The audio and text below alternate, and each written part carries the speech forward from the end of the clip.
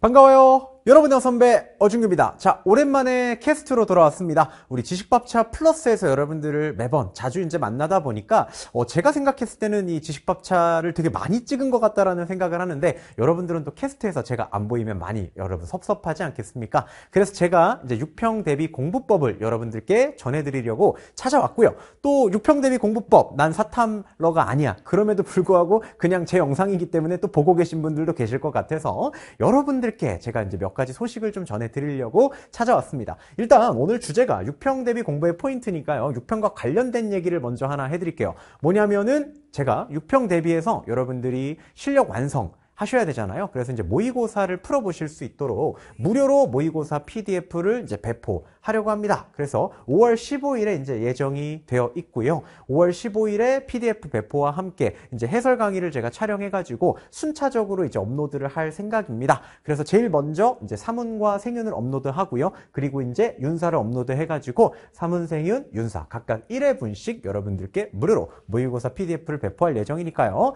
많은 분들 제 선생님 새 소식 공식에서 이 공지 뜨면은 오셔가지고 PDF 한번 다운 받으셔가지고 문제 풀어보시면은 6평 대비에 많은 도움이 될 거라고 생각합니다. 어, 좋은 quality를 가지고 여러분들 만들 수 있도록 많이 노력해가지고 여러분들께 찾아오도록 하겠습니다. 두 번째, 이제 지식밥차 관련해가지고 물어보시는 분들이 상당히 많습니다. 제가 원래는 조금 더 일찍 이제 돌아오려고 했었는데 제가 지금 윤리와 사상 이제 기출 분석 강좌가 완강까지 조금 시간이 남아가지고 어, 지금 당장 지식밥차에 쏟을 수 있는 여력이 많지가 않습니다. 6평 대비 지금 모의고사도 하나 만들어야 되고 또 여러분들하고 이제 기출 분석도 제가 6월 전에는 반드시 완강을 해드려야 되기 때문에 그것도 이제 조금 바쁘고 이제 내신 휴강 끝나고 제가 주제도 잡고 컨셉도 거의 다 잡기는 했는데 이제 실질적으로 제가 현강이 다 재개가 되다 보니까 이제 조금 바쁜 감이 있어가지고 5월 말에 이제 이때쯤 되면은 윤리와 사상 기출 분석이 거의 완강이 이제 될 가능성이 크기 때문에 5월 24일에 여러분들과 함께 지식밥차 플러스가 돌아올 예정이고요.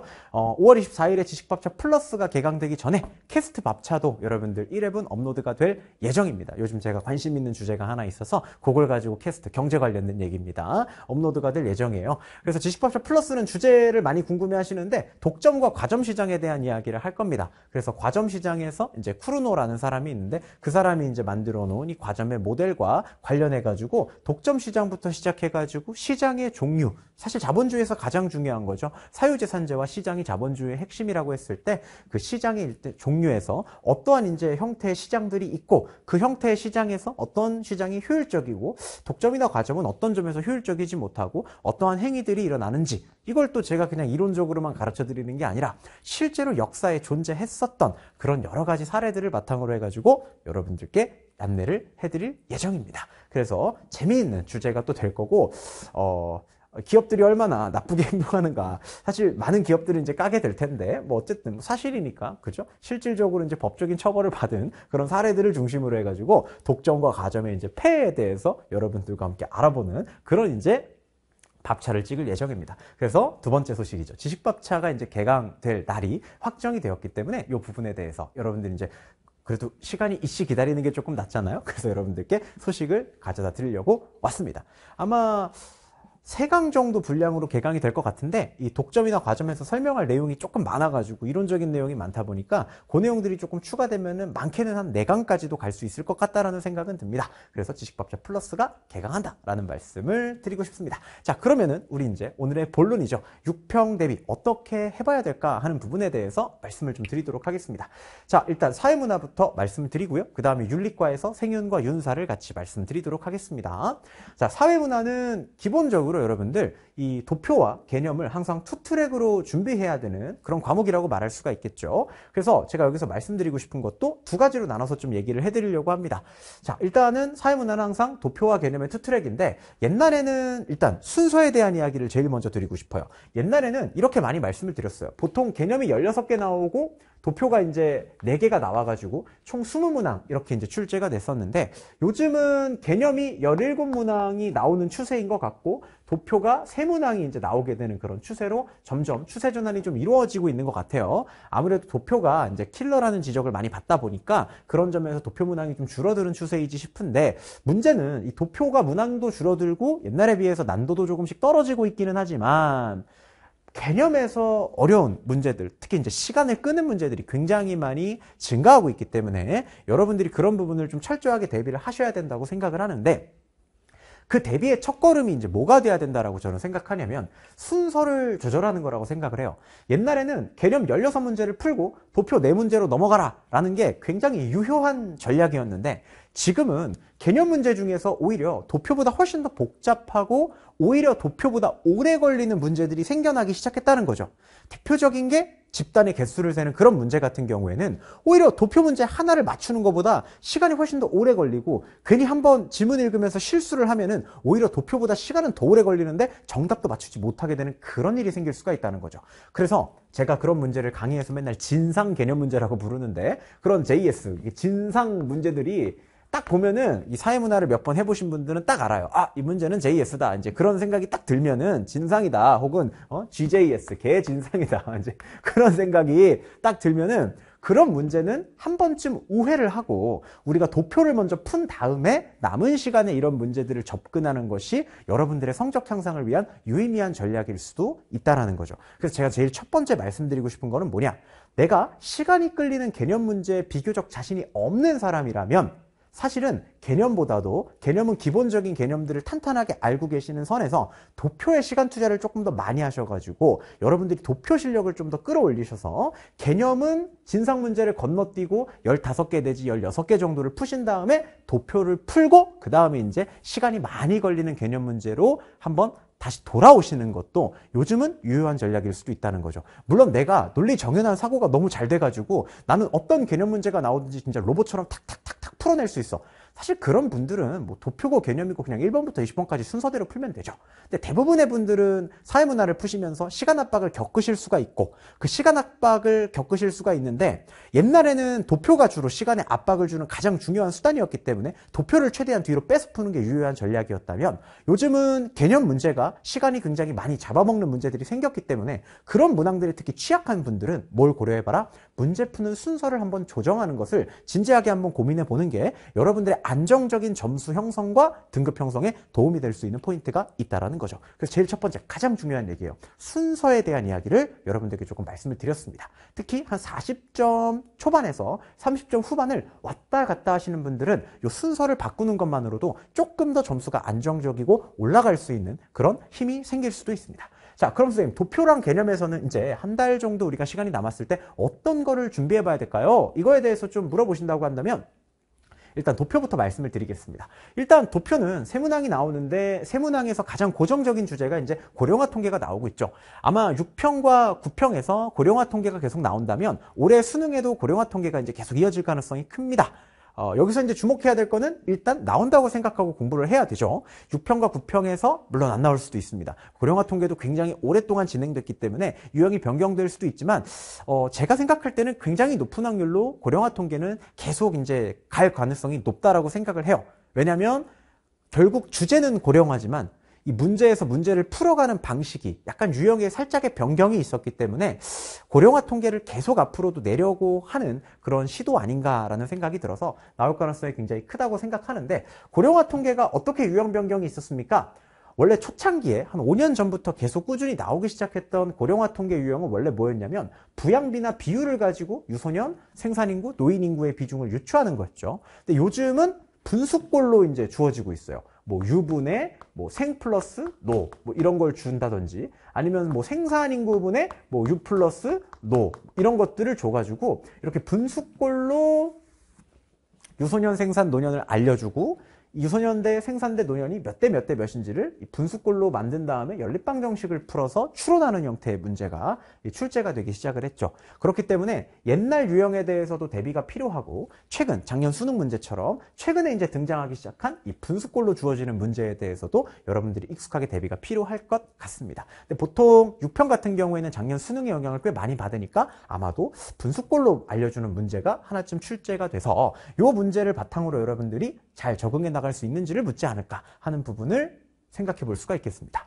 그래서 저도 이제 도표 강좌에서 부양비나 비율을 주는 경우와 분수꼴로 나오는 경우 이 두 가지를 다 예제로 만들어 가지고 학습을 시켜드렸고 분수꼴로 나왔을 때 어떻게 해야 우리가 굳이 방정식 계산을 안 하고 바로바로 바로 유소년 생산 노년의 값을 도출할 수 있는지 그 숄트컷도 알려드렸었죠. 그래서 어, 제 도표 강좌를 안 들으셨더라도 이 분수꼴로 나왔을 때 내가 조금 더 빨리 문제를 풀고 싶다 하시는 분들은 도표 강좌에서 이 부분만 여러분들 발췌해서 보셔도 도움이 많이 되실 거라고 생각합니다. 다음 두 번째죠. 증가율과 증가량의 구분. 불평등 문제가 여성비 문제가 나오다가 이제 그게 워낙 고난도 문제였다 보니까 출제되지 않고 그냥 단순한 형태의 불평등 지표를 물어보는 문제들이 요즘 많이 출제가 되고 있죠. 그 문제들의 가장 중요한 핵심은 증가율을 증가량을 구분할 수 있느냐 하는 부분입니다. 똑같이 예를 들어 50만큼이 증가했다고 하더라도 50에서 50이 증가하면 100%, 100에서 50이 증가하면 50%이기 때문에 증가하기 전에 숫자가 분모가 돼서 증가하기 전의 숫자에 따라서 증가량이 똑같아도 증가율이 달라질 수 있다라고 하는 논리를 상당히 많이 이제 물어보고 있죠.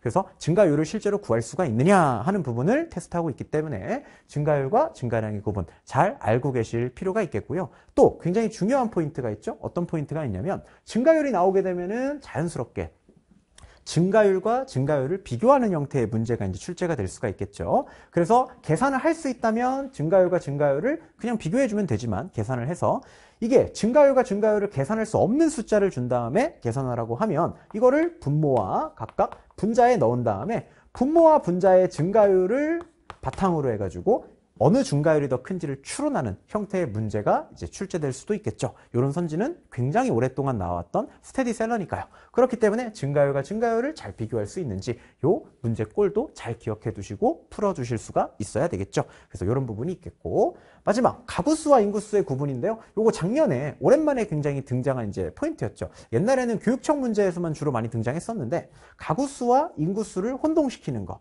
왜냐하면 부부 가구 같은 경우에는 두 명이 살기 때문에 1인 가구와 부부 가구의 수가 같다고 하더라도 그 속에 살고 있는 사람의 숫자는 부부 가구가 두 배가 많을 것이다.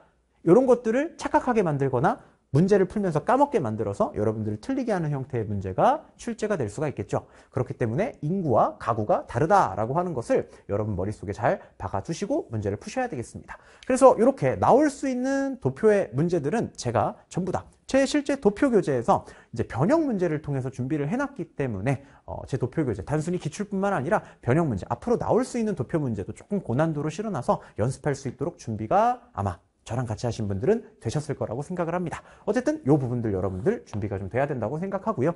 개념 같은 경우에는 좀 변형이 있죠. 어떤 변형이 있냐. 유형적으로 사회문화 개념이 어려워진 것 플러스 사회문화 개념은 원래 굉장히 뻔한 이야기들만 출제가 되어 왔었는데 유독 작년 시험에서는 좀 지역적인 개념의 체크가 굉장히 많이 잦았죠. 그래서 개념 같은 경우에도 지역적인 개념을 여러분들이 좀 복습을 하실 필요가 있다. 이렇게 볼 수 있겠습니다. 예를 들면 모든 행동은 전부 다 문화냐 이런 것들 물어보면은 헷갈리는 분들 굉장히 많죠. 인간의 문화라고 하는 건 학습성을 반드시 갖고 있어야 되기 때문에 인간의 문화가 학습성이 생기려면 반드시 습득된 것이어야 된다. 즉 후천적인 것, 것만 우리가 문화가 될 수가 있는 거죠. 선천적으로 가지고 있는 본능적 행동은 문화가 되지 않는다. 이런 포인트들이 한번 나오게 되면은 많은 분들이 조금 헷갈릴 수 있고 작년에 나왔었죠. 영화 제작 기술 이건 물질이냐 비물질이냐 이런 거. 대체로 기술이라고 하는 것은 우리가 물질 문화에 속한다라고 하는 부분. 이렇게 좀 지역적인 개념들, 특히 문화 파트에 굉장히 많이 이제 산재해 있는데 이런 지역적인 개념들을 여러분들이 좀 복습해 보실 필요가 있다. 이렇게 말씀을 좀 드릴 수가 있겠습니다. 이게 단순히 문화 파트뿐만 아니라 다양한 곳에 있습니다. 그래서 이런 부분들만 짚어가지고 여러분들과 함께 기출 문제를 풀어보는 강좌가 이제 제로 베이스트 기출 분석 강좌인데 그게 이제 다음 주에 여러분들 사회문화 개강할 예정이니까 내가 지역적인 개념을 좀 기출 문제와 함께 빠르게 복습해 보고 싶다 하시는 분들은 이 zero based 기출 분석 아주 얇은 교재거든요. 그래서 얇고 시간도 굉장히 짧으니까 같이 한번 여러분 수강해 보시면 도움이 되실 거다라는 생각을 말씀드립니다. 다음이죠. 채점 유형을 적응해야 된다. 이렇게 나와 있는데 채점 유형. 그래서 뭐 애 점수가 뭐 하나 갑은 0점, 뭐 을은 2점일 때 요거 어떻게 풀어가야 되느냐 이 채점하는 유형들 적응을 잘 하셔야 되는데 요거 같은 경우에는 제가 개념 강의에서 풀 때 여러분들한테 최대한 팁을 많이 드리려고 노력을 했습니다. 뭐 만점과 빵점인 경우에 만점인 경우 빵점인 경우를 중심으로 잡아야 된다.